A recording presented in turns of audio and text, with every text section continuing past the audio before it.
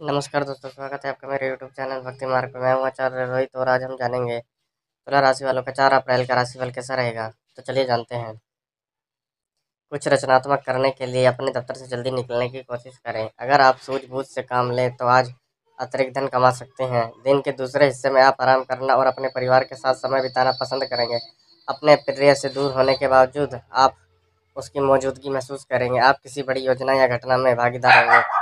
जिसके लिए आपको सराहना और पुरस्कार मिलेंगे। आज आपको रिश्ते की अहमियत का अंदाज़ा हो सकता है, क्योंकि आज के दिन यह ज़्यादातर समय आप अपने परिवार के लोगों के साथ बिताएँगे। जीवन साथी के साथ आज की शाम वाकई कुछ खास होने वाली है।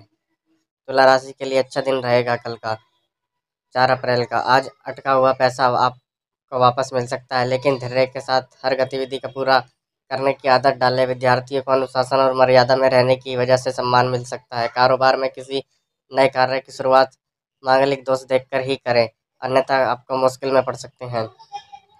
तुला राशि के लिए कल का दिन प्यार भरा रहेगा। आज आपकी बीवी मायके जा सकती है तथा आपकी साली घर भी आ सकती है। आपके घर और आपका जो अटका हुआ पैसा, वो भी आपको कल जहाँ तक मिल सकता है। लेकिन सब्र के साथ अपने इष्ट को पूरा करने की कोशिश करें। स्कूली छात्रों को प्यार की बजाय पढ़ाई पर ध्यान देना होगा।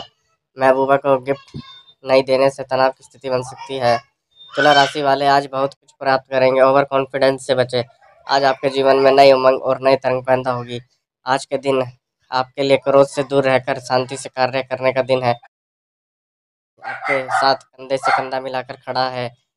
मित्रों का सहयोग प्राप्त होगा और पार्टनरशिप में व्यापार कर रहे हैं तो आज का दिन आपके लिए नई ऊंचाइयों को छूने का है। किसी खास व्यक्ति से बातचीत से आपका दिल खुशी से भर जाएगा और कुछ रोमांटिक पल मिलने की भी संभावना है। अब आप अपने पुराने दोस्तों और रिश्तेदारों से मिलने के लिए भी बहुत उत्सुक रहेंगे। धन्यवाद।